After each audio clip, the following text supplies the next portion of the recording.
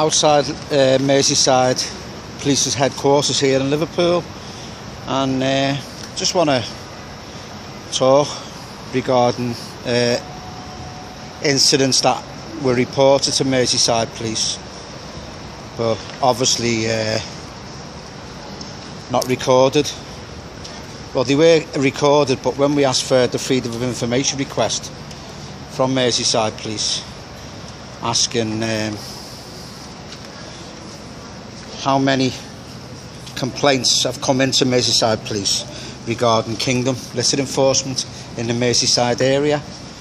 And we're talking about the three month period, which is April, May, and June of this year, where one serious incident happened at an Aldi car park where um, a couple, uh, the, the male actually took bad at the scene.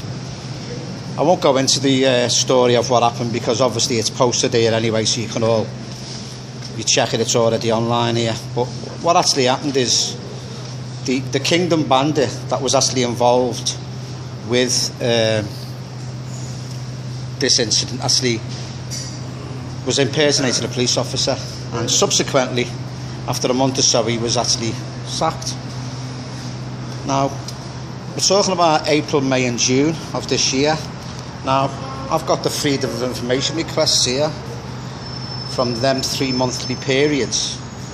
And we had another incident which wasn't that serious but it was regarding me where I had a an abusive phone call regarding my mother.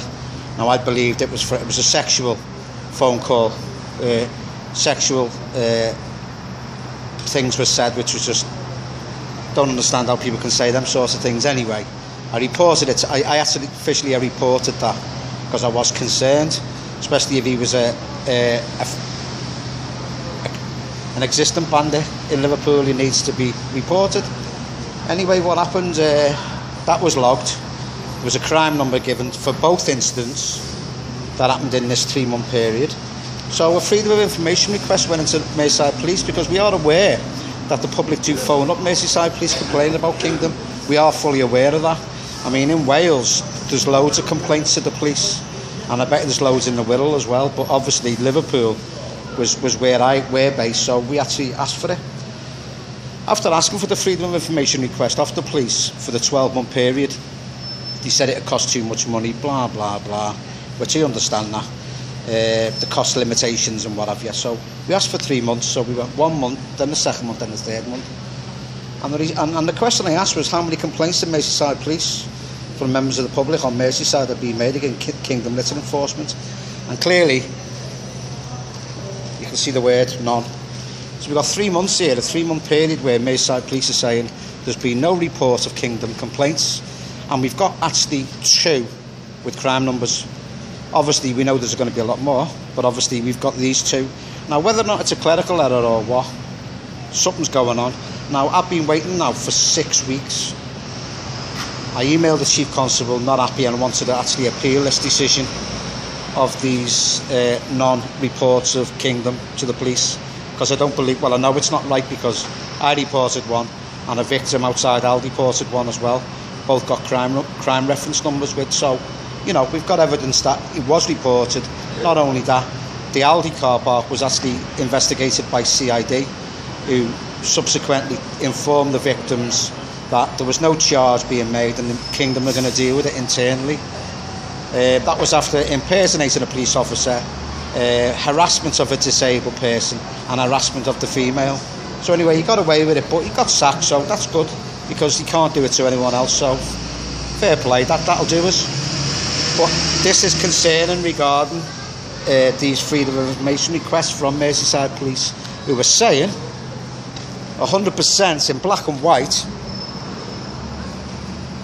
how many complaints to Merseyside Police or members from members of the public on Merseyside that have been made against Kingdom Litter Enforcement in Merseyside. And the police are saying on a three month period, none. So please make your own mind up. I'm not accusing police officers of wrongs here because police officers take an oath. Now, we all know Kingdom, there's many former police officers that work at Kingdom or are involved with Kingdom Now, these former police officers, one, the former police officers don't know why, and secondly, they're not they're not under oath. So really, they can do what they want. Okay. So all I'd like you to do is this week is to look at the videos. I was going to put the information out in print form, but it's better doing a video because people seem to watch the videos. Take in what I'm saying all this week. Okay. So obviously today is Merseyside Police. You know, freedom of information request in a three-month period where we've got two crime reference numbers, and Merseyside Police are telling us no one complained in them three months about Kingdom.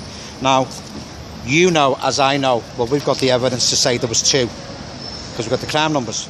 But obviously, you know the way Kingdom work. There's going to be a load of complaints, um, and whether it's been logged or it's a, a administration error or whatever. But we need to get to the bottom of it.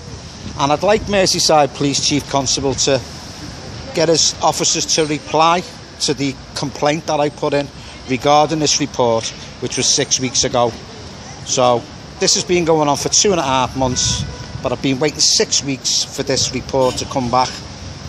Just asking, why haven't these been reported? Is it clerical problem or what? Okay. So what I'd like you all to do is to watch all the videos this week and the next couple of days we're actually going to go to the council offices because there's uh, there's uh, Kevin Johnson from licensing who we'd like to talk about next. Please share and follow this page.